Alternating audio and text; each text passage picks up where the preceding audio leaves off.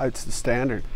There's a lot of sort of pretenders and and um, that I think try to be like the precision, and that's fine. I mean, I, I have other basses for other things, but when I go out and play and make records and and and the bass that I that I know on the road is going to be dependable and uh, and in the studio, there's there's just no other bass I use. Um, there's just a,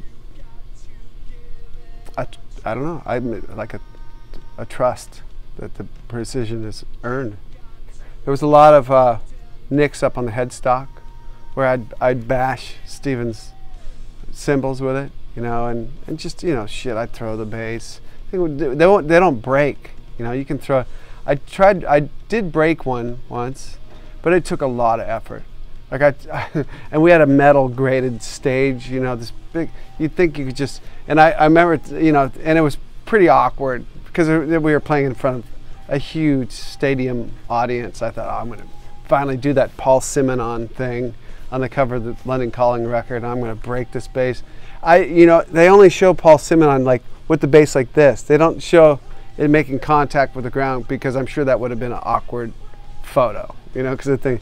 Um, I've heard stories of like somebody ran over a P bass in, in a truck and played fine afterwards. Um, yeah, but it took me. I, I don't think I broke it clean. It took a lot of hits on that stage. Three, three hits. Yeah, yeah. My basses. I I don't treat them gently. At all, on on stage and. Um, yeah, there's a lot of scars and nicks and put some new strings on them, they're fine. I really only made the, the sort of ardent decision to play bass once Guns formed, which was a few months after I moved here to LA, and it's like, okay, I'm the bass player. Who who who's influenced me?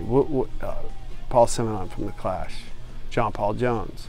Can I play like him? No, he's that's he's really really good. You know, it was only just recently in the last couple of years that I actually started taking bass lessons with Reggie Hamilton, um, a Fender guy, and uh, and I, was just playing all Led Zeppelin stuff and, and learning to play with my fingers. Something I'd never done in my. I'm a pick player. I like that percussive thing, and I think it helped me being a drummer. Um, to be a ba- uh, better bass player, and so my style is kind of brash and percussive. Um, but Lemmy, Lemmy, Paul Simonon, John Paul Jones. Um, I grew up with seven older brothers and sisters, so there's a lot of Motown stuff. So um, Jamerson and, and Duck Dunn were definitely rhythmic influences. in my life. I recommend any rock, some kid in, in any style really. If they want to really learn how to play bass and don't listen to me or you know John Paul Jones. If you want to play like John Paul Jones, listen to Jamie Jamerson.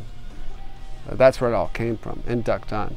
Those are the guys who who were instrumental. I mean, those are the big two.